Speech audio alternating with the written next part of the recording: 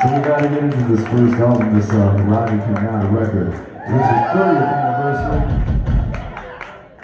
This year we got some special plans to release music that we wrote and recorded back in 1993-94 that we never included on the record. So that will be coming up pretty soon, along with some remixes on that record and some brand new music as well.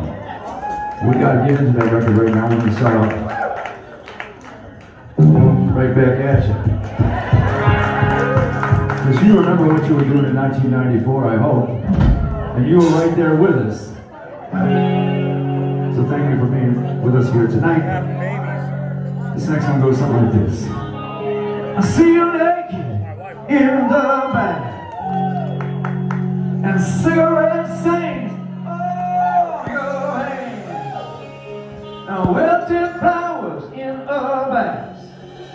We ask how are you? Our friends here at the Coach House, San Juan Capistrano, how the hell are you?